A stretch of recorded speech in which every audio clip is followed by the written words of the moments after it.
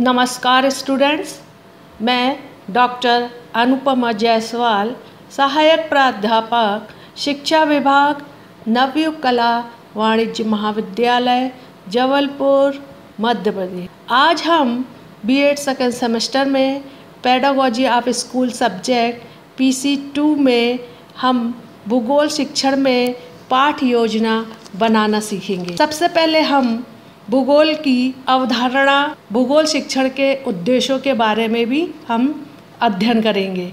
इसके पश्चात ही हम भूगोल शिक्षण का पाठ योजना बनाना सीखेंगे। हम भूगोल की अवधारणा का अध्ययन करेंगे, जैसे कि हम कॉन्सेप्ट ऑफ़ ज्योग्राफी भूगोल एक ऐसा विषय है, जिसकी विषय सामग्री प्रत्येक व्यक्ति के लिए आजीवन सार्थक रहती है। भौगोलिक प्रभाव का पृथ्वी के प्रत्येक जीवित प्राणी के लिए गर्भ में आने से लेकर मृत्यु पर्यंत महत्वपूर्ण रहता है, जिसका संबंध शिक्षा के कार्यक्रमों से प्रत्यक्ष अथवा अप्रत्यक्ष रूप से रहता है। मानव के पृथ्वी पर जन्म लेने के साथ ही उसका सामना भौगोलिक तथ्यों, मिट्टी, जल वायु, सूर्य, तापमान, वनस्पति तथा जीव जंतुओं से होने लगता है। मनुष्य को सदैव अपने आसपास वातावरण को जानने की इच्छा रहती है। पृथ्वी के आकार के विषय में मानव का ज्ञान पहले गलत था। धारणाएँ बदलती गईं और उसे पृथ्वी के वर्तमान स्वरूप का ज्ञान हुआ। भौगोलिक पर्यावरण किस प्रकार मानव को प्रभावित करता है? विश्व के प्राकृतिक प्रदेशों का सूक्ष्म अध्ययन कर यहाँ के भौगोलिक, आर्थिक तथा सामाजिक परिवेश का ज्ञान भी भूगोल विषय द्वारा ही दिया जाता है। अभी हमने भूगोल शिक्षण के अवधारणा के बारे में अध्ययन किया है। अब हम समझेंगे कि भूगोल शिक्षण के उद्देश्य क्या है। किस उद्देश्य को लेकर हम पाठ योजना का निर्माण करते हैं। एक आदर्श अध्यापक के लिए यह जानना कि वह किसी विषय, विशेष के शिक्षण कार्य को क्यों कर रहा है, उतना ही आवश्यक है जितना कि इस विषय, विशेष के शिक्षण कौशल में पारंगत होना। यदि शिक्षक पढ़ाए जाने वाले विषय को क्यों पढ़ा रहा है? इस प्रश्न का उत्तर नहीं दे सकता है।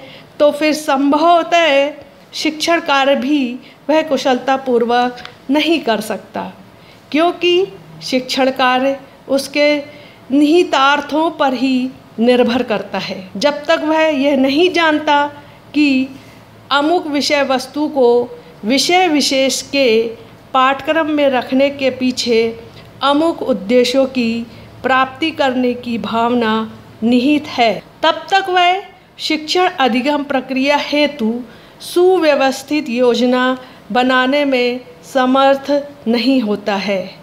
इसी प्रकार उस विषय विशेष को पढ़ने वाले छात्र को भी यह जानना आवश्यक है कि वह उस विषय विशेष को क्यों पढ़ा रहा है। उसका उस विषय को पढ़ने का क्या उद्देश्य है? भूगोल शिक्षण के उद्देश्यों के बारे में भी सोचना एवं जानना आवश्यक है। भूगोल शिक्षण के उद्देश्यों के निर्धारण की दिशा में जेम्स फेयर ग्रीवर ने कहा है कि भूगोल शिक्षण का उद्देश्य भावी नागरिकों को वृहत विश्व क्षेत्र की दशाओं की वास्तविक कल्पना करने में शिक्षित करना है। अब हम इसके पश्चात भूगोल शिक्षण में हम पाठ योजना बनाना सीखेंगे। सबसे पहले हम पाठ योजना क्रमांक, जिसमें हम लिखते हैं कि हमारी पाठ योजना क्रमांक की संख्या एक है। फिर आता है इसके पश्चात विद्यालय का नाम, दिनांक, विषय, प्रकरण, कक्षा, कालखंड, समयावधि। विद्यालय के नाम में, जिस विद्यालय में हम अपना पाठ योजना पढ़ाना चाहते हैं, उस विद्यालय का नाम लिखा जाता है। जैसे कि हम श्री रामकृष्ण आश्रम में पढ़ाने जा रहे हैं तो उस विद्यालय का नाम लिखा जाएगा। दिनांक, जिस तारीख को हम वहाँ पर अपनी विषय वस्तु को प्रस्तुत करना चाहते हैं तो उस तारीख को नाम लिखा जाएगा। जैसे कि तेईस चार दो हज़ार बीस विषय, भूगोल, प्रकरण, प्रायद्वीप, पठार। किस कक्षा के लिए पढ़ा रहे हैं? कक्षा नौवीं। कालखंड, पहला। समय अवधि, चालीस मिनट। अब हम आते हैं सामान्य उद्देश्य। सामान्य उद्देश्य, जिसमें कि प्रत्येक विषय के अपने कुछ सामान्य उद्देश्य होते हैं। चाहे वह नागरिक शास्त्र हो, भूगोल शिक्षण हो सभी के अपने अपने सामान्य उद्देश्य होते सामान्य उद्देश्य भूगोल शिक्षण के छात्रों को भूगोल विषय के प्रति रुचि जागृत करना। इसमें पाँच पॉइंट लिए जाते हैं। दूसरा पॉइंट है छात्रों को बौद्धिक तथ्यों एवं सिद्धांतों का परिचय कराना। छात्रों को विषय, विश्व के वातावरण का ज्ञान कराना। छात्रों में वर्तमान सोच की भावना उत्पन्न करना। छात्रों में राष्ट्र प्रेम की भावना जागृत करना।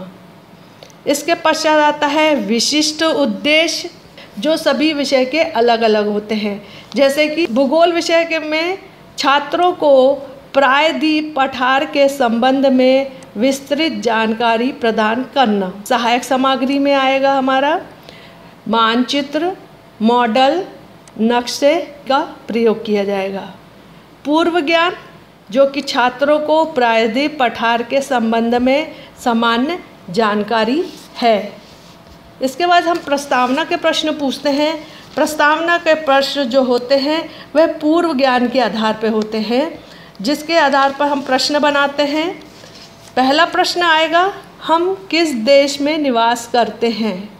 इसमें छात्रों के माध्यम से उत्तर दिया जाएगा कि हम भारत देश में निवास करते हैं। दूसरा, भारत की राजधानी का नाम क्या है? भारत की राजधानी का नाम दिल्ली है। तीसरा आता है, भारत किस महाद्वीप के अंतर्गत आता है? उत्तर आएगा, भारत एशिया महाद्वीप के अंतर्गत आता है। फिर प्रस्तावना के चौथे नंबर का क्वेश्चन है, विश्व का सबसे बड़ा महाद्वीप कौन सा है? विश्व का सबसे बड़ा महाद्वीप एशिया है। पांचवा क्वेश्चन होता है प्रस्तावना के प्रश्नों में, जिसमें कि हमारे प्रकरण निकलता है, जिसे कि हम समस्यात्मक प्रश्न भी बोलते हैं। भारत का सबसे प्राचीन भूभाग कौन सा है? भारत का सबसे प्राचीन भूभाग प्रायद्वीप पठार है। इसके पश्चात हम अपना उद्देश्य कथन करते हैं। उद उद्देश्य कथन करते समय जब हम अपने श्याम पट पर लिखते हैं प्रकरण लिखते हैं कि आज हम प्रायद्वीप पठार के संबंध में अध्ययन करेंगे और उसको फिर हम अंडरलाइन करते हैं उस टॉपिक को। इसके पश्चात आता है प्रस्तुतिकरण। प्रस्तुतिकरण वह होता है जिसमें कि हम अपने विषय को जो अधिक अधिक विषय होता है, जिसमें अधिक पाठ दिए रहते हैं, उसको हम विषयवार प्रथम इकाई और द्वितीय इकाई में बांट सकते हैं। विषय वस्तु अध्ययन की सुविधा के अनुसार पाठ को दो इकाइयों में बांटा जाएगा। प्रथम इकाई में प्रायद्वीप पठार का परिचय, द्वितीय इकाई में प्रायद्वीप पठार के भाग। शिक्षण विधि, जिसमें कि हम व्याख्यान विधि तथा प्रश्नोत्तर प्रविधि का प्रयोग करेंगे। विकास प्रश्न जो होते हैं पाठ के विकास के लिए विकास प्रश्न पूछे जाएँगे। बोध प्रश्न, प्रत्येक इकाई के अंत में छात्रों के सहयोग से बोध प्रश्न के उत्तर श्याम पट पर लिखे जाएँगे। पुनरालोकन के प्रश्न जो होते हैं, दोनों इकाइयों की समाप्ति पर पुनरालोकन के प्रश्न पूछे जाएँगे। इसके पश्चात प्रयोग कार्य होता है। जिसमें कि कक्षा कार्य कक्षा कार्य लिखित रूप से किया जाता है और गृह कार्य दिया जाता है। इसके पश्चात हमारे पाठ योजना की पूर्ण रूपरेखा तैयार होती है, जिसे कि हम खंड वाइज उसको बांट देते हैं, जिसमें कि पहला खंड में आता है विषय वस्तु, दूसरे में शिक्षक क्रिया, तीसरे में छात्र क्रिया और चौथे में श्याम पट कार्य आता है। पहले हमारे प्रथम इकाई पढ़ाएँगे सबसे पहले, और स्वकथन किया जाएगा शिक्षक के द्वारा।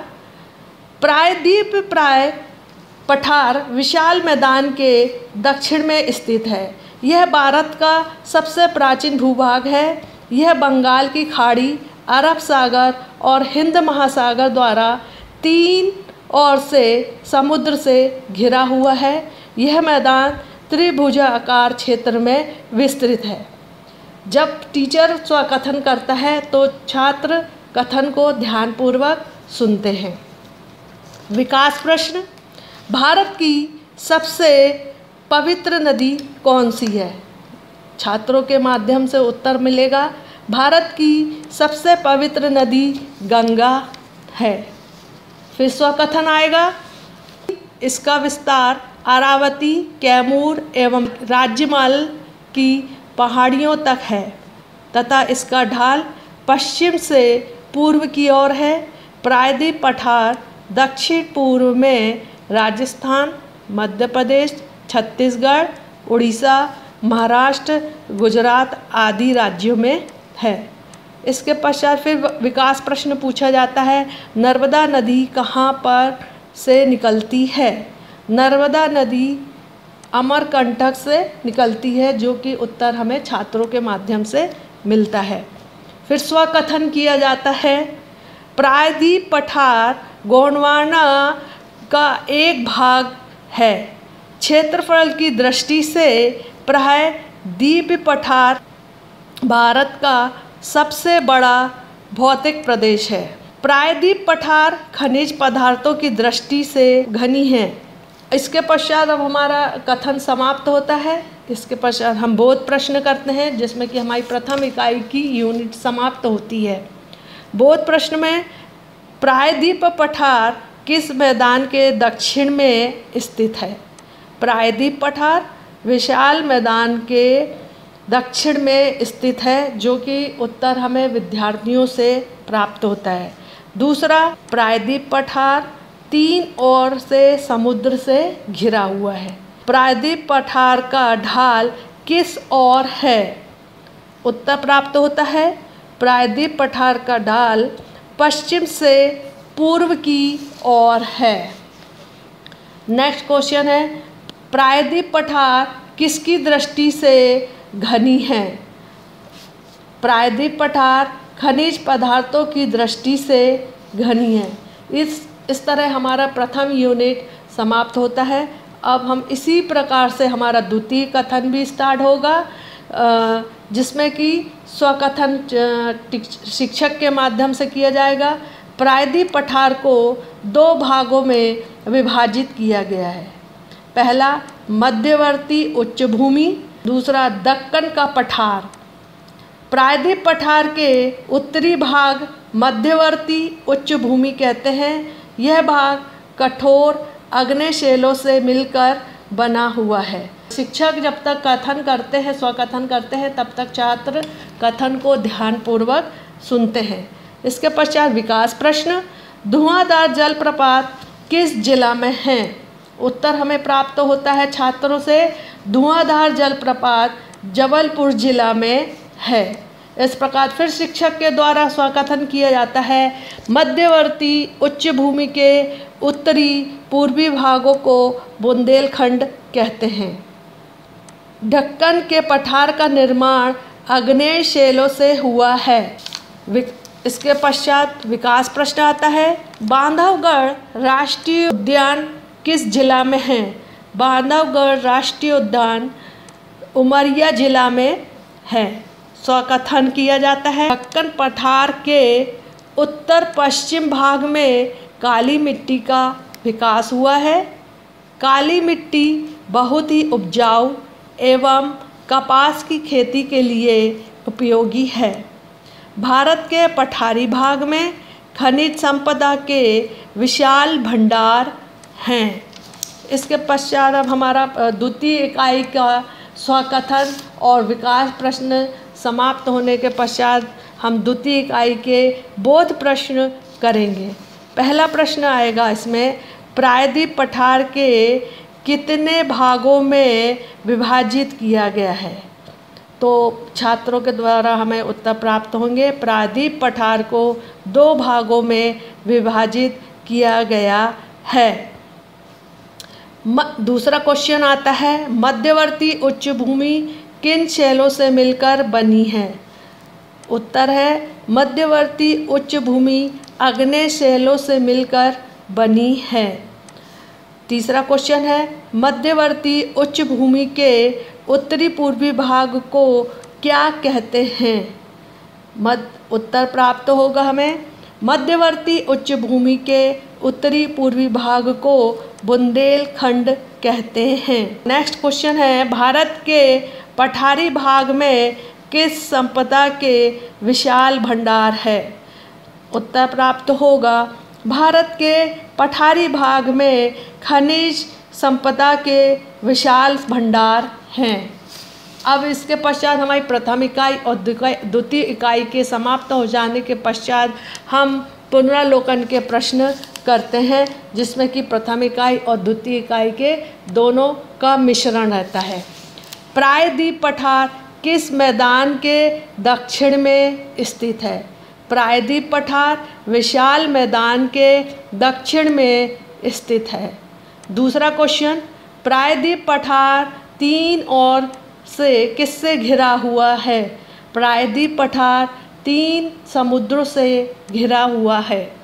तीसरा है प्रश्न है, प्रायद्वीप पठार का ढाल किस दिशा की ओर है?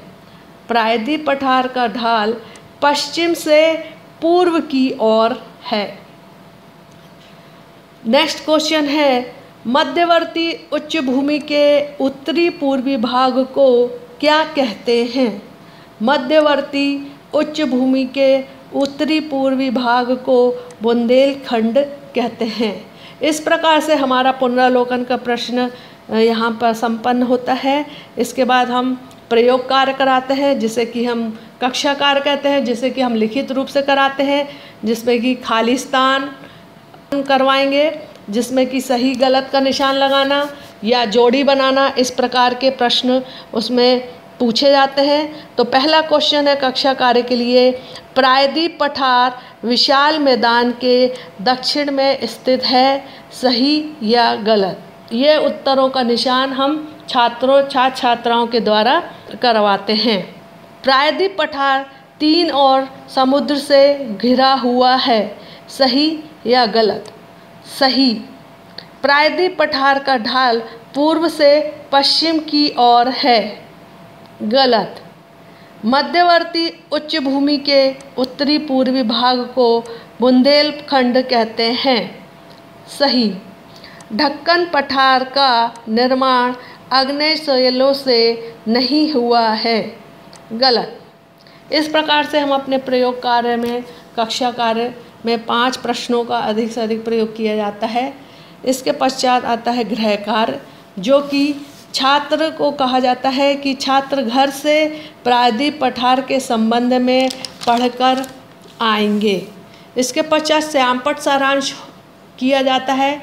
श्यामपट सारांश में प्रथम इकाई और द्वितीय इकाई के बोध प्रश्नों के उत्तर लिखे जाते हैं। इसके पश्चात जब हमारा श्यामपट सारांश संपन्न हो जाता है, उसके पश्चात शिक्षक छात्र अध्यापक या छात्र अध्यापिका के हस्ताक्षर और नेक्स्ट राइट हैंड साइड में विषय शिक्षिका के हस्ताक्षर लिखे जाते हैं। इस तरीके से हमारा भूगोल शिक्षण का पाठ योजना बनाई जाती है। नमस्कार।